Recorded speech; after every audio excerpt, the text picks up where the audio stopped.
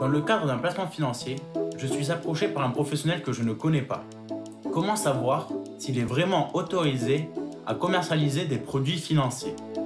Crédit, assurance, placement. Ces opérations peuvent vous être proposées par des acteurs financiers appartenant à différentes catégories de professionnels. Ces métiers sont réglementés et une autorisation est nécessaire pour les exercer.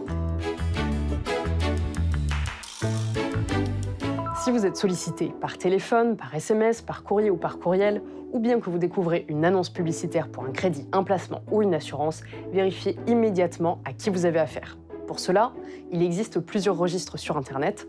Une experte de la Banque de France nous en dit plus sur ces registres. Comme vous l'avez dit, il existe plusieurs registres qui permettent de vérifier si votre interlocuteur est effectivement autorisé à exercer son activité et connaître les services et produits qu'il est en droit de vous proposer. L'un d'eux est Regafi, le registre des agents financiers qui permet de rechercher les entreprises autorisées à exercer une activité bancaire, financière ou de services de paiement en France. Un autre registre est REFASU, le registre des organismes d'assurance qui recense donc les entreprises autorisées à exercer une activité d'assurance en France. Et si vous avez affaire à un intermédiaire ou courtier, vous pouvez consulter le registre géré par l'ORIAS, dont la mission est de s'assurer que tous les intermédiaires en banque, assurance et finance remplissent les conditions nécessaires à l'exercice de leur activité.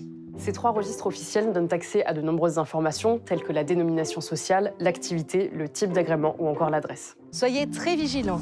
Si vous passez par un professionnel qui n'est pas déclaré ou enregistré en France, il se peut, en cas de litige, que le droit français ne soit pas applicable. Alors lisez bien les modalités de traitement des réclamations et des voies de recours. Il existe aussi, en complément des registres, les alertes et listes noires de sites ou d'entités qui sollicitent le grand public, alors même qu'elles ne sont pas autorisées à commercialiser un produit financier en France. Ces dernières sont disponibles sur le site de l'ACPR, l'autorité de contrôle prudentiel et de résolution, et sur le site de l'AMF, l'autorité des marchés financiers. Attention, ces listes peuvent ne pas être exhaustives. Voilà, vous savez tout, ou presque tout. À très vite pour un nouveau Consomag et retrouvez toutes les informations sur inc-conso.fr.